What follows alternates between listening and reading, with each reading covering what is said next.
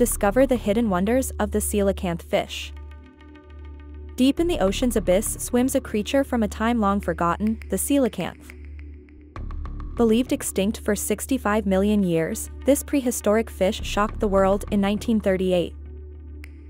With lobed fins that resemble limbs, coelacanth are the missing link between sea and land. Unlike most fish, coelacanth give birth to live young, a rarity in the marine world.